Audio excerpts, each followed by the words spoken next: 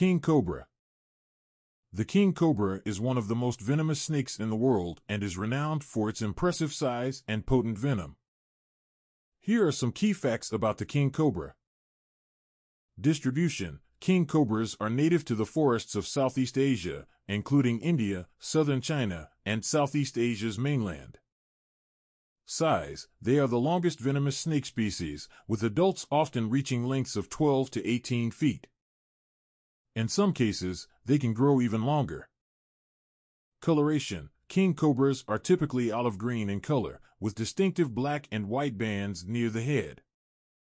The head itself is quite large and is often compared to that of the true cobras in the Naja genus. Venom The venom of the king cobra is highly potent and primarily neurotoxic. A single bite can deliver a large quantity of venom, capable of causing paralysis.